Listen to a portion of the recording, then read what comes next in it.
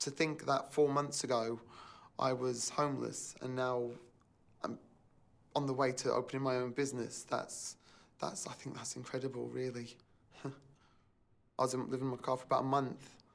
You get down and depressed, you think, you know, where's my life at the moment and what am I doing? So it's, it's not a great experience at all. I was in Portugal and I left Portugal about eight years ago. Um, and then when I, I, studied law over there, and then over here, I decided I didn't really want to do law because it's sat down at a desk and stuff. So I'd done pastry, went to college, done pastry in Manchester for three years, and started working in kitchens. I've worked all over the place, really, uh, sort of jumping about everywhere.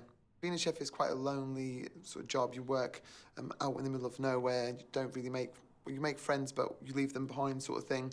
And I've also got um, on the spectrum of autism also, so it's been a very difficult journey for me.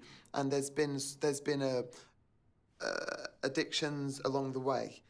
My personal demons were opiates. I would take, let's say, on on the weekends, and then it becomes just one day, and then it's two days, becomes three days, and then by the time you know it, it alters the way that you are.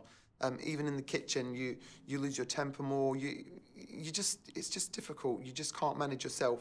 And by the time you know it, it, you're on the streets. You know, so I always felt guilty and always tried to, on my days off, not to use, but.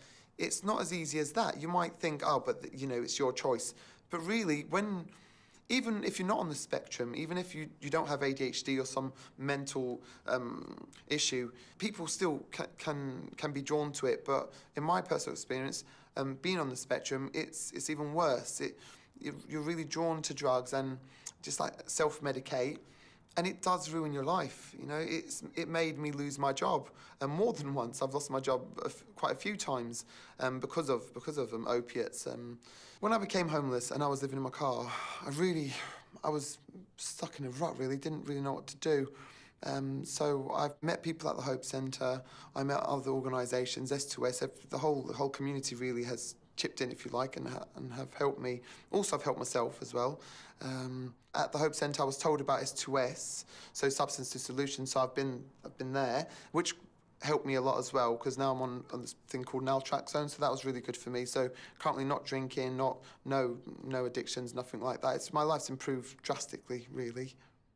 When I bake, I feel I feel happy. That's where I'm more most comfortable.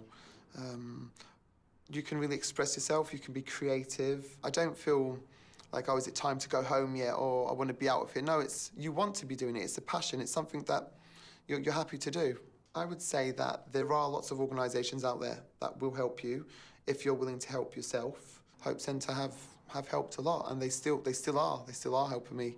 Um, I'm quite fortunate that I've got goals, and in my case, it was the passion to make beautiful cakes. That's what I used to to inspire me. Even if you're hardworking, you don't need to be a lazy person or something like that to be homeless. It, it can happen, you know. But also, if it does happen, it's not the end of the world. There are ways to get out of it too.